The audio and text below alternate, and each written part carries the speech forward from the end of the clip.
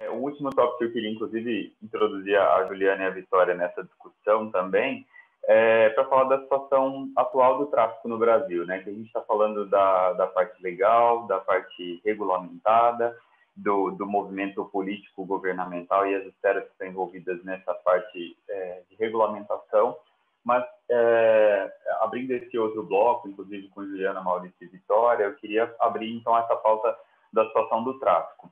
Né? E para começar essa pauta, eu queria a, chamar a Juliana, né, representante da Freeland Brasil, Brasil. Ela é formada em ciências biológicas, com mestrado e doutorado em genética. Ela é a representante, é, a diretora executiva da Freeland Brasil, que é, é um, um, uma instituição que trabalha com conservação e biodiversidade através do combate ao tráfico de animais silvestres, né, com pilares de educação e conscientização pesquisa científica e capacitação, políticas públicas e articulação internacional para institucionalizar o combate ao tráfico. Então, é, é uma pessoa bastante gabaritada para falar sobre esse assunto também, então queria chamar a Juliana para compor essa, esse, esse bloco de temático aqui com a gente. Seja bem-vinda, Juliana. Oi, Vitor, obrigada. Oi, todo mundo. Claro que eu tenho que começar falando que eu estou aqui numa mesa com colegas e com pessoas de quem eu sou fã.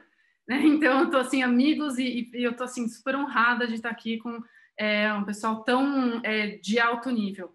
É, eu queria também falar é, parabéns para a Natália, acho que ela foi extremamente corajosa, né? eu acho que ela se expôs, acho que poderia estar arriscando vir aqui ser apedrejada, e acho que o seu exemplo é uma das coisas que vai mudar de fato né, o comportamento das pessoas. Então, quanto mais você mostrar tudo isso que você está falando né, no seu Instagram, quanto mais você mostrar que é, esse tipo de atitude ele, ele, ele é detrimental, é, mais, melhor vai ser o seu serviço de educação. Às vezes é, a gente fala muito para os convertidos, né? E uma pessoa como você consegue chegar em pessoas que jamais a gente chegaria.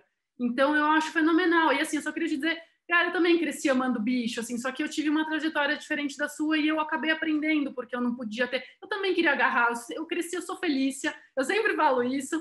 Né? Então, eu acho que é uma questão assim, muita gente realmente não sabe, não, não tem essa consciência, né? Então, parabéns, assim, é, muitas vezes a gente mantém as bolhas separadas, né? Então, achei é, muito legal. Vocês também me, me segurem aqui, e a Vitória, claro, assim, a qualquer momento me interrompa, mas eu gosto de falar também, então agora é minha vez. mas, assim, fiquem à vontade. Tá é, eu, acho, eu acho algumas coisas importantes para pontuar aqui, ainda mais como biólogo, acho que o Thiago vai aprovar aqui, é, colocar alguns, alguns pontos. Então, primeiro, o tráfico, é, ele muitas vezes é usado como sinônimo de comércio ilegal, e na verdade ele, ele envolve um encadeamento de condutas é, que estão relacionadas ao aproveitamento desse animal de espécie silvestre, que é irregular e, em geral, com algum tipo de ganho econômico em algum momento, né? que também não precisa ser diretamente o financeiro, mas ele pode ser uma troca e etc né? E são muitas condutas, então existe de fato uma rede, existe de fato uma estrutura, existe de fato um encadeamento, né? Por mais que isso pareça uma coisa ingênua, é, não é, né? Então isso é importante. Agora, eu estou falando aqui de tráfico de espécies silvestres, a gente está falando de espécie silvestre, espécie silvestre. Eu não sei quem está assistindo, eu não sei se as pessoas que estão assistindo elas têm consciência da diferença do que é uma espécie silvestre, uma espécie doméstica. A gente citou isso aqui, mas a gente não definiu. Então é o seguinte, uma espécie doméstica, ela foi selecionada durante muitos e muitas gerações, muitos anos, artificialmente por certas características desejáveis e ela se tornou diferente da parental. E isso faz com que ela não tenha mais um papel na natureza e vive em estreita dependência ao ser humano, né? Gato, cachorro, porco, né, esse, esse doméstico, etc. Enquanto que uma espécie silvestre, ela não passou por esse processo e, portanto, ela ainda ocorre com funções na natureza. E ela ainda tem, claro que eu não estou negando os instintos das espécies domésticas, mas assim, essa, essa coisa do instinto muito forte e muito presente. Então, é, plagiando meu meu amigo Roberto Cabral, né, que ele falou isso e agora eu repito, é, um, um indivíduo de uma espécie doméstica, ele pode estar feral na natureza, mas ele é de espécie doméstica. E o indivíduo de uma espécie silvestre pode estar amansado na casa da Natália, mas ele é de espécie silvestre. Estou fazendo piada com você, tá? Você não me leva a mal, mas é só o exemplo. É, então, ele continua sendo um indivíduo de uma espécie silvestre. Isso tem uma consequência, mas eu só vou continuar pontuando algumas coisinhas aqui de forma bem rápida e simples. A gente falou em espécie silvestre nativa e exótica. Em geral, na linguagem popular, exótica é um animal diferentão, né? Mas para ciências biológicas, a espécie nativa ela é que é, depende da área que você está falando, mas você está falando do Brasil, ela é a que ocorre em algum momento do seu desenvolvimento da sua vida dentro da fronteira do território nacional. E uma espécie exótica, não. É, e claro que as leis que incidem sobre os dois tipos de espécie silvestre, nativa e exótica, são diferentes. Mas a gente tem que lembrar que espécies exóticas, elas são nativas de algum lugar, elas também podem ser fruto de tráfico, elas também são silvestres, né? Então, assim, por exemplo, a gente está falando da lista do Paraná, eu posso estar errado, alguém me corrija, mas ouvi dizer que tinha até naja nessa lista. É uma espécie exótica, que até já tem reprodução irregular aqui, mas assim, ela é nativa de outro lugar e existe sim uma rede de, de tráfico né, dessas espécies que ela é bastante estruturada, bastante organizada e é uma rede criminosa, né? Então, é só falando... que tem na lista do Paraná. Oi? É Piton. Piton. Ah, então confundi, mas vale. Tá bom. Tá vale, tá igual. Aliás, olha só o exemplo da Flórida, né? A gente vai ver que não é muito esperto fazer isso, mas tudo bem. É, então, assim, o tráfico, a gente tem alguns números para o tráfico transnacional, ou seja, né, em diferentes países cruzando fronteiras, que todo mundo sempre repete uns números, mas ninguém não explica direito o que, que eles são. Né? Então, só vou falar aqui bem rapidinho, consigo falar rápido. É, todo mundo aqui já ouviu falar que o tráfico de fauna silvestre tem essas três atividades criminosas mais importantes. É o seguinte: o tráfico transnacional de espécies de, de animais silvestres, é, ele é arrancado entre as três a sete é, atividades criminosas transnacionais mais relevantes em termos de lucro ilícito. E aí a gente tem junto o tráfico de drogas, de armas, de mercadorias falsificadas, muitas vezes de pessoas, de órgãos também. E aí esse, né, eles, eles mudam no ranking, mas eles estão sempre ali entre as 13 e as 7. Valendo o tráfico transnacional, é, as estimativas que existem de 5 a 23 bilhões de dólares americanos por ano, mas isso não leva em conta o, o, é, o, o, tráfico doméstico dentro dos países. Quando a gente fala doméstico, a gente está se referindo dentro das fronteiras nacionais. Né? Então, na verdade, o comércio legal de fauna silvestre ele vale muito mais, ele é muito maior. É que é quase que impossível quantificar né, e, e contabilizar isso. É, então, isso é importante também. É, e são muitos os usos, muitas as espécies, muitas as finalidades. Então, assim, não é só o comércio legal para suprir o mercado de pet silvestre. A gente tem diversos usos que têm como alvo diversas espécies e suprem diversos mercados consumidores. Isso é importante ter em mente também. Então, desde o papagaio da avó até a barbatana de tubarão lá para o moço da China, tudo isso é, é, um, é um, um, contínuo muito grande, né? É, que, que, que é, faz o, o, tráfico né, de, de fauna silvestre. É, então, eu só queria falar algumas coisinhas, porque, para mim, aqui o que pega, como bióloga da conservação de formação, colega do Tiago de faculdade, é, a gente falou é, em, em, vários impactos do tráfico, né? Eu acho assim, é, o sofrimento ele é indiscutível, né? Eu, eu, já vou falar qual é a relação do comércio legal com o comércio legal. Ainda mais quando a gente fala em primatas, né? Assim, é, é, eu, eu vejo assim as pesquisas do Tiago, é, é, muito difícil a gente traçar essa linha né, de especismo de onde está essa diferença tão grande entre a gente e eles. E a gente não pode antropomorfizar os animais, né, ser antropocêntrico, mas assim, a gente imagina o que, que é, né? Você ser um ser social, de repente você está numa gaiola, num ambiente que não é o seu, não podendo expressar seu comportamento natural. Mas agora eu estou falando do tráfico, do comércio ilegal, os métodos de captura e transporte absolutamente horrorosos. Eu vou falar rápido para dar espaço para a Vitória também. Está se coçando aí para falar, né? Claro, zoonoses, quem sou eu para falar depois de uma explicação fantástica, né, da, da Marina, que eu já falei para ela, nossa, que fã que eu virei, que explicação fantástica. É um dos, uma das maiores forças motrizes né, da, da, perda de biodiversidade global são as espécies exóticas invasoras que se tornam nocivas. Isso a gente vê muito com muitas espécies, a própria Piton, os próprios Calitrix aqui.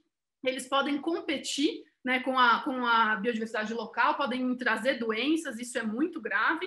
Né, isso eles podem, caramujo africano, tem um monte de, de, de exemplos, né?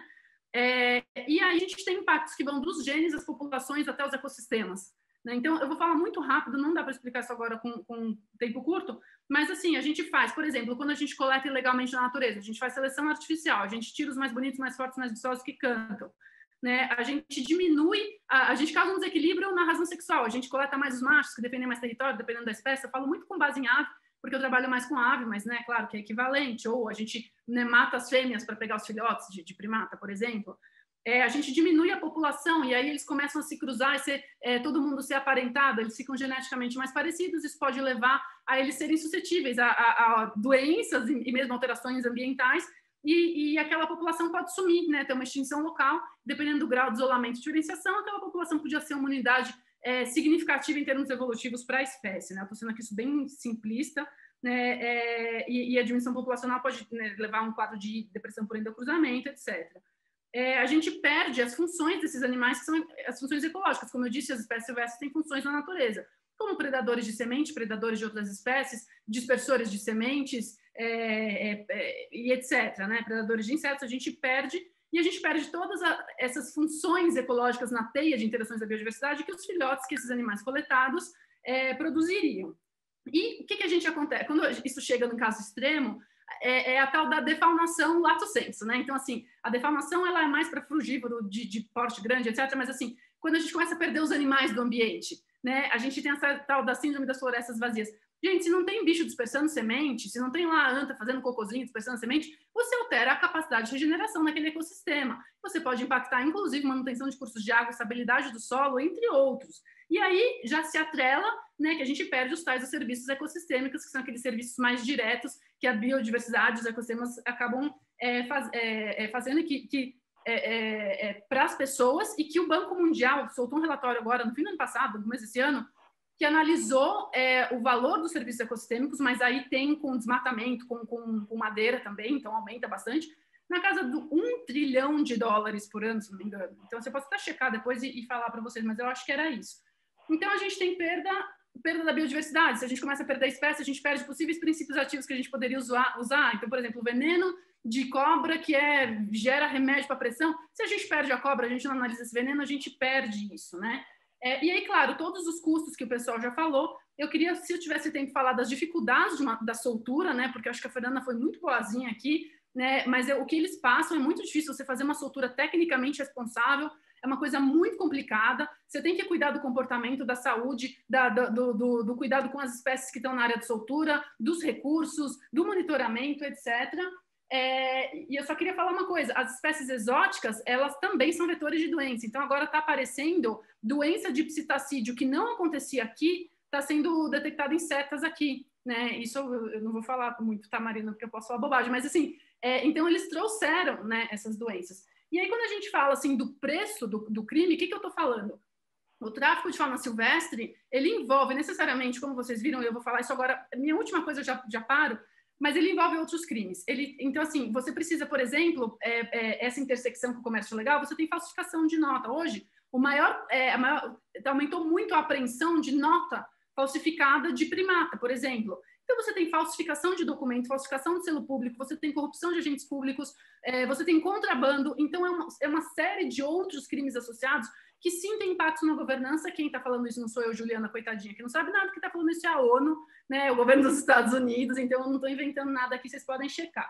Né? Então, assim, é, sim, mesmo quando você compra um animal é, do, do comércio legal, o que, que acontece? Primeiro, como a gente viu aqui, demanda gera demanda, você está fazendo vontade nos outros é, o comércio legal acaba virando uma porta de entrada dos fundos para bichos ilegais, porque é muito mais barato eu falsificar um documento do que eu botar tempo para ter um filhote dali a dois anos e desmamar. Então, o criador sério, coitado, ele investe um monte de recurso, um monte de tempo, né? Então, é muito fácil hoje no Brasil, por quê? Porque a nossa rastreabilidade de origem ela é falha.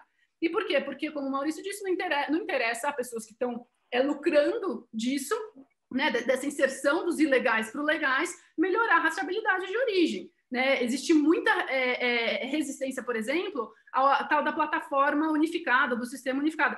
Hoje, é, os criadores comerciais eles são responsáveis pela marcação, né? isso ia mudar com a KLN, mas acabou não mudando, é, a marcação do, empreendi do empreendimento, então você não tem uma anilha padronizada, como, por exemplo, para os amadoristas de passeriformes, é, e aí você tem a fiscalização, que tem que separar o que, é legal do que, é ilegal. O pobre do fiscal chega lá e fala assim, gente, eu tenho aqui um macaco, eu tenho as matrizes, como é que eu vou saber se esse bicho veio do tráfico? Até de paternidade, dependendo da espécie isótopo, estava difícil. Então, é, tudo isso gera uma dificuldade. A gente está falando assim, como sociedade, a gente está permitindo isso. E desculpa, não é conservação, criação comercial não é conservação, essa premissa é falsa. Criação comercial é uma indústria, né, que a gente achava que gerava lucro, mas na verdade não gera. A gente está vendo aí com o Covid, não é? Então, assim, não é uma indústria assim tão interessante. E as pessoas querem lucrar. Conservação é instituto de pesquisa, instituto de conservação, né, é universidade, etc. E, e eu tenho mais um monte de coisa para falar aqui, mas eu acho que eu estou vendo a cara do Vitor falando. Claro. Não, eu muito legal o recorte que você fez do serviço ecossistêmico das outras espécies, Juliana. Acho que é, ainda não tinha sido falado aqui, e tem muitas espécies que se beneficiam e que são prejudicadas também dessas políticas públicas que são comuns, né? Não só citar de passeriformes e outras também, que também são pets, né? Mas é uma outra esfera que a gente até nem quer entrar nessa discussão aqui. Mas é, vou, chamar a Vitória. Bom, a Vitória, é, ela, ela é bióloga, né? Pela Federal do Rio Grande do Norte, né? Também atua junto com a professora Renata Ferreira é, que coordena o projeto Operação Sapágio já há muitos anos, é, tem uma experiência, uma vivência também com centro de triagem, né, pesquisou, atuou com consultoria, fotografia, é, atuando bastante em operações de soltura e pós-soltura. É, hoje ela desenvolve pesquisas no foco da relação humano-natureza, né, pelas lentes da antropologia e a etnoprimatologia, é, também com a gente na Sociedade de Primatologia tem sido uma parceira e tanto aí. E obrigado mais uma vez, Vitória. E a palavra é sua agora. Oi, gente. Obrigada, né? Queria agradecer de novo, parabenizar né, a Sociedade Brasileira de Primatologia pela iniciativa. Também parabenizar todas as falas né, do, de todos esses colegas, que eu também sou fã de todo mundo, como a Juliana falou, inclusive da Natália, que sempre foi muito aberta, né? Toda vez que eu ia perguntar alguma coisa lá pelo Instagram da Operação Sapages. Então, bom, eu acho que minha fala, de forma geral, vai meio que englobar um pouco de várias coisas aí que todo mundo falou. Talvez principalmente a questão do papel do comércio legal e essa romantização errônea, né, de primatas pet no tráfico legal, no tráfico no tráfico, né, e no comércio legal também. É, por quê? Porque meu foco de trabalho atualmente, né, basicamente envolve explorar as causas e consequências dessa relação que a gente tem com os macacos pregos, tanto dentro quanto fora da internet. Então, eu vou trazer alguns dados aí para contextualizar o que eu vou dizer, que vai ser sobre dois contextos que eu acho que acreditam mais, né, é, são mais de interesse a essa mesa redonda, são macacos pregos na natureza e macacos pregos comercializados ou criados para pet, de forma legal ou ilegal né? É, então, o que eu fiz foi uma busca, né, tanto é, em vídeos com YouTube quanto é, em dados de notícias sobre macacos pregos na internet. E o que eu percebi foi, de todos os vídeos envolvendo macacos pregos no YouTube, que foram 1.138, 63% são de macacos pregos na liberdade e 25% são de macacos sendo pet. E aí já no Google, né, 43% das notícias envolvem indivíduos ou grupos de macacos pregos em liberdade e 27 falam de flagrantes, confiscos, apreensões, entregas voluntárias, exibição de pets na mídia, etc. Ou seja, né, aparentemente a gente ainda tem aí um maior número de vídeos e notícias de macacos pregos em liberdade do que macacos pregos sendo pets. E até parece bom, né? Mas, na verdade, olhando assim, esses dados parecem nem dizer muita coisa, mas aí é filtrando os resultados que a coisa começa a ficar interessante. Se de todos os vídeos do YouTube eu filtrar apenas os mais famosos, que isso é, né? Por mais famosos eu quero dizer os virais, né? Os mais visualizados, a gente percebe que de todos esses 1.138 vídeos com macacos pregos no YouTube, apenas 27, ou seja, né, isso é, é 0,02% é, por cento deles né, ganha a maior parte de toda a audiência do YouTube, tendo cada um desses vídeos mais de 50 milhões de visualizações. E aí, sobre esses 27 vídeos, a história é um pouquinho diferente, né? Apenas cinco são de macacos pregos em liberdade, 18 são de macacos pregos sendo pet. Então, em outras palavras, né, colocando em porcentagem de novo, 66% dos vídeos de maior audiência no YouTube que exibem macacos pregos mostram esses animais sendo pet em casas domésticas, na cama de alguém, andando de carro, né, tomando banho e usando roupinhas. E aí, por coincidência ou não, a evolução na quantidade desses vídeos de macacos pregos sendo pet, por sinal legalizados, coincide com a evolução na quantidade de notícias sobre o comércio e apreensões de macacos pregos no Google. E isso nacional e internacionalmente. Então, para resumir, o que eu queria trazer aqui essa discussão não é que falte divulgação científica ou que exista carência de pessoas e ou primatólogos que postem mais vídeos de macacos pregos na natureza, né? Mais documentários, mais alguma coisa assim. Não é isso, porque a gente já viu que esse tipo de vídeo é sim a maioria. A questão é: macacos sendo pet tem mais audiência que macacos em liberdade. Então, o que eu estou colocando aqui é o papel do comércio legal como uma vitrine né, para o aumento da demanda por esses animais como pet, incluindo a demanda, inclusive, né, do, do comércio ilegal, do tráfico.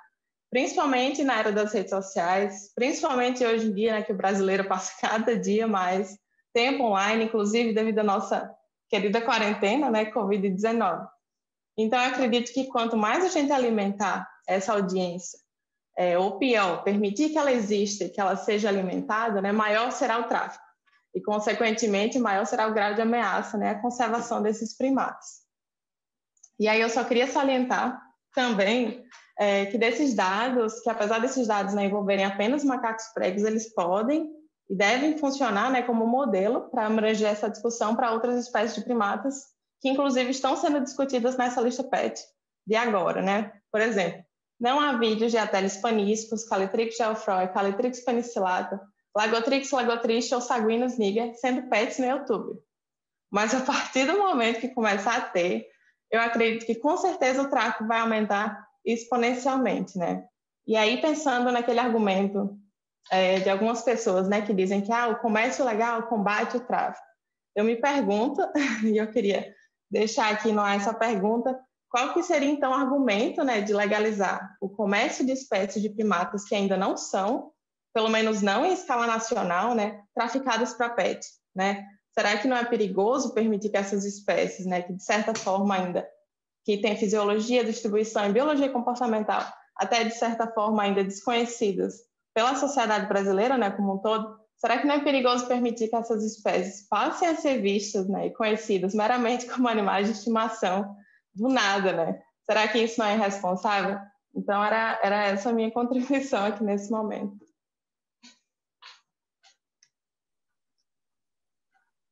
Vitória, desculpa, fui mais rápida que o Vitor. É, você podia fazer o favor de citar os nomes populares das espécies que estão na lista, por favor? Só porque a gente tem uma assistência aí de pessoal que não é da, não, não, não sabe os nomes científicos. Certo, desculpa, gente. Então, a Teles paniscus, né, que é o macaco-aranha, e aí a gente tem duas espécies de Calitrix, Geoffroy e Calitrix penicillata, que são espécies de Calitrichilus saguis, né, parecido com saguis, mesmo gênero. É, Lagotrix lagotricha, que é um macaco barrigudo, e Saguinus niger, que é outra espécie é, que aparenta com, com saguino, a gente pode dizer assim para ficar mais fácil.